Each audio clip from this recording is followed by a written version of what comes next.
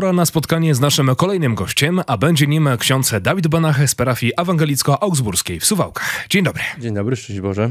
Spotykamy się z racji uroczystości, które odbędą się już niebawem. Uroczystości połączone z przyjazdem mieszkańców miasta, ewangelików, którzy emigrowali. Poprosimy o coś więcej. E, tak, e, w najbliższą niedzielę o godzinie 12.30 odbędzie się nabożeństwo e, w Kościele Ewangelickim, na które to przybędą osoby, które niegdyś zamieszkiwały Suwalszczyznę, ogólnie szerzej patrząc nie tylko w miasto nasze, ale też właśnie tereny obecnego Suwalskiego Parku Krajobrazowego, Wiżajn.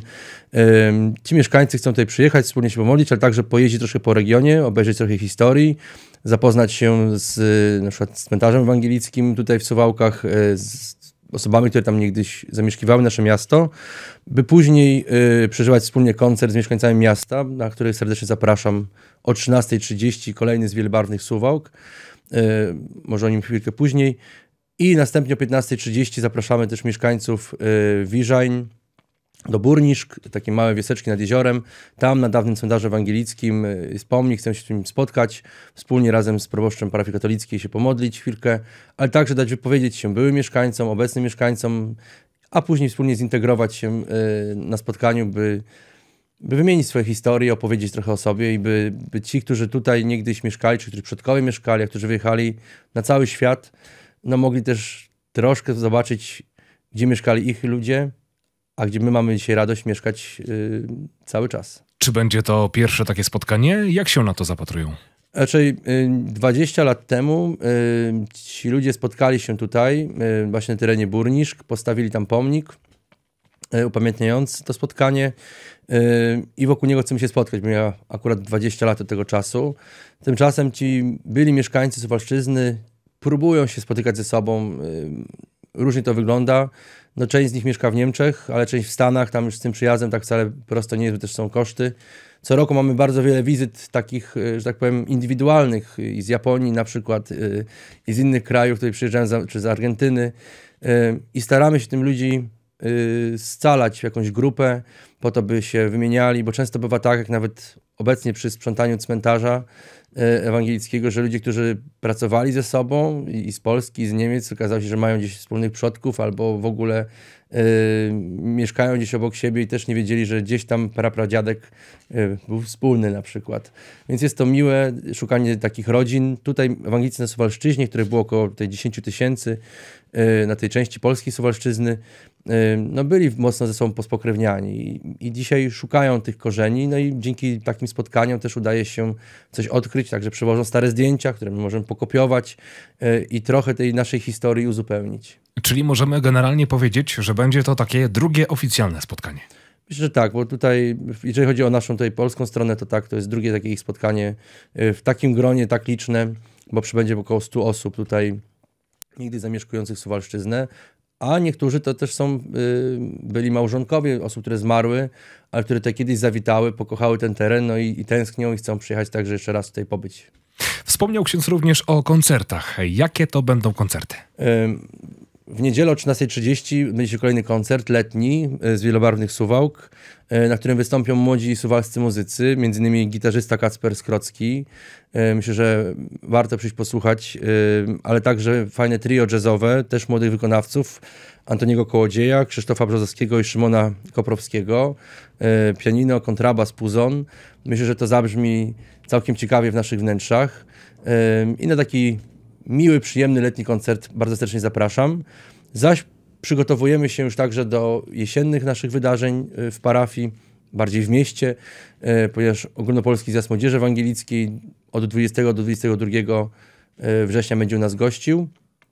No i tam też oprócz ciekawych warsztatów, fajne koncerty, m.in. Lux Torpeda czy Exodus 15, więc chcemy też, żeby nasze miasto tutaj oprócz tego przesłania ewangelicznego także miało coś z ciekawej muzyki, którą myślę, że możemy wszyscy przyjść i posłuchać. No właśnie, zatrzymajmy się przy temacie zjazdu młodzieży, ponieważ o tym rozmawialiśmy już w styczniu tego roku przy okazji naszego spotkania.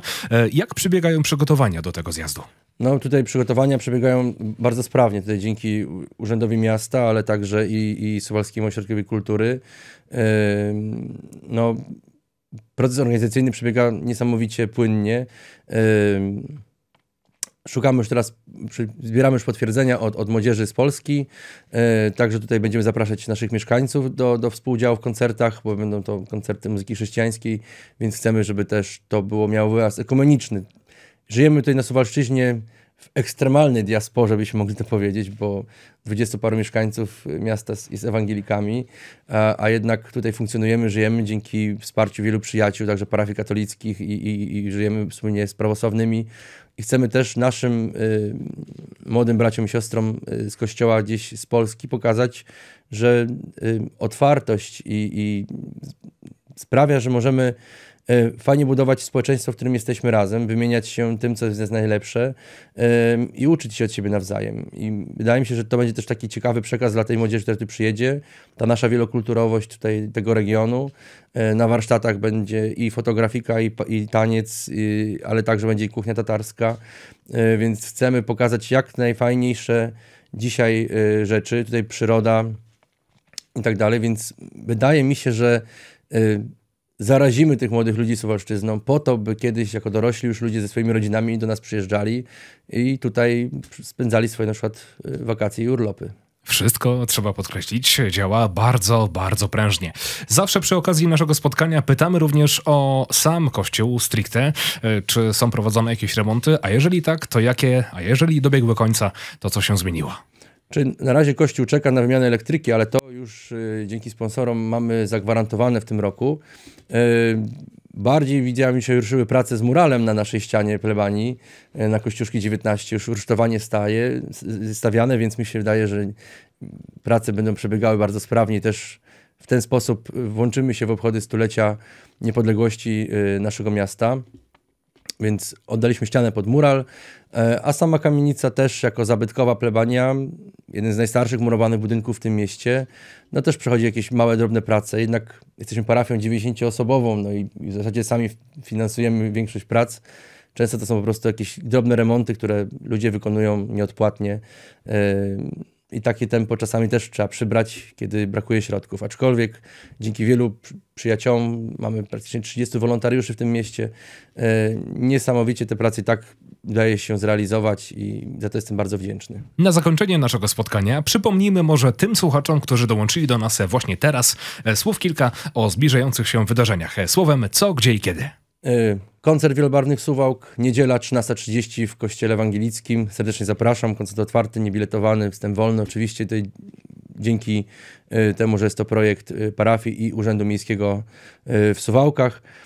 Poprzedzający koncert będzie nabożeństwo, 12.30 dla tych, którzy chcą poznać trochę e, naszą kulturę, ale także spotkać się z tymi, którzy tutaj nigdy mieszkali. 15.30 burniszki pod Wiżajnami, tam pod pomnikiem wspólna modlitwa katolicko-ewangelicka e, i potem wspólny jakiś integracyjny wieczór e, dla tych mieszkańców Wiżań, którzy chcą się poznać z byłymi mieszkańcami, porozmawiać, i myślę miło spędzić czas.